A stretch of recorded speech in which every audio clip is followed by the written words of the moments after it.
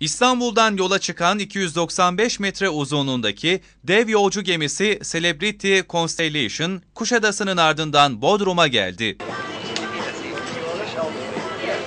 Bodrum gemi yanaşma iskelesine demirleyen dev gemiden inen yolcular, Cumhuriyet Caddesi ve yakın çevresinde tarihi yerleri gezip esnaftan alışveriş yaptı.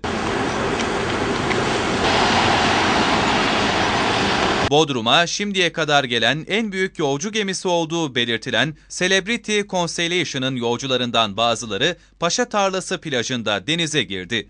969 kabinli, 2118 yolcu kapasiteli ve 1000 dolayında personeli olan Bahama bandıralı gemide 11 güverte bulunuyor.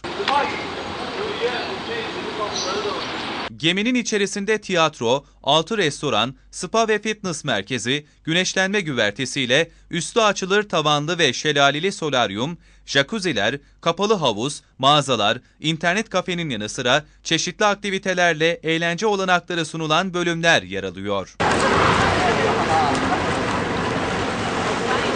İstanbul'dan yola çıkan gemi Bodrum'un ardından Marmaris, Rodos, Santorini, Atina, Mikonos, Girit'ten sonra tekrar İstanbul'a dönecek.